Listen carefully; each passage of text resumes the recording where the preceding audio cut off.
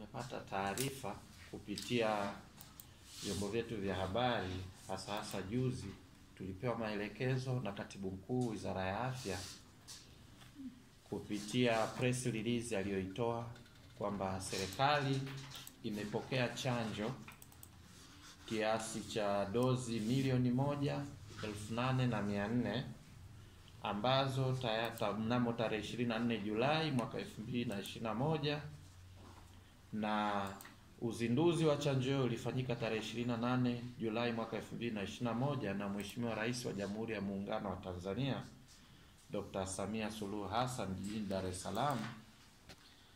Usambazaji wa chanjo hizi umeshaanza katika mikoa yote na sisi kama mkoa wa Iringa tunategemea leo mchana kupokea chanjo hizi. Kwa mujibu wa taratibu tulizowekewa na serikali, ni kwamba kwanza kuna zoezi la uandikishaji au usajili, na usajili huu unafanyika kwa namna mbili. Kwanza kuna usajili ambao unafanyika kwa kutumia tovuti ya kiserikali iliyotolewa, na hiyo ipo online.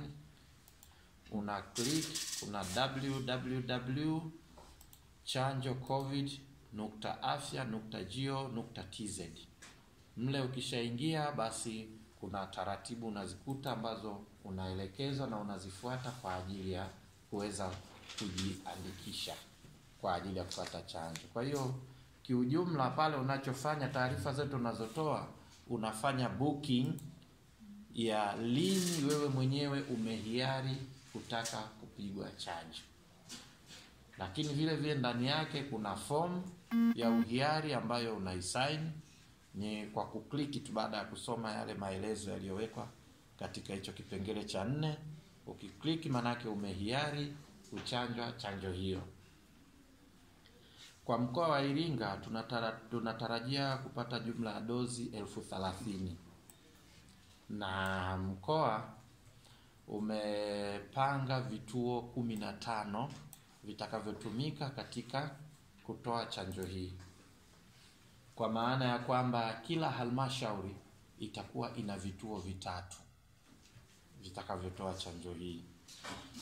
Kwa Iringa manispaa hapa ambapo tupo, kuna kituo cha hospitali ya rufaa ya mkoa, kuna hospitali ya halmashauri ya wilaya inaitwa Frelimo ya Iringa mjini, Iringa manispaa, na vile vile tuna kituo chetu cha afya cha Ngome.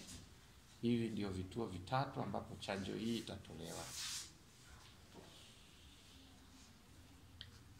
E, kama nilivyosema mwanzo kwamba chanjo hizi zitatakiwa lazima kwanza uanze na booking, na ukisha book tayari kwa mujibu wa tarehe yako ambao mwenyewe umehiari, ndio utatakiwa kwenda katika kituo ili ukachanje.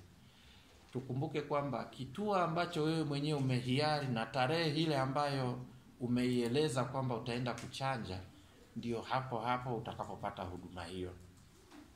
Tuna utaratibu tumeuweka wa kuhakikisha kwamba unapofika tu unahudumiwa na kuweza kupatiwa hiyo chanjo bila ku, ku bila kuwa na msongamano, mzozo, majibizano na kadhalika. Tunataka hili zoezi liende katika hali ya usalama, amani na utulivu.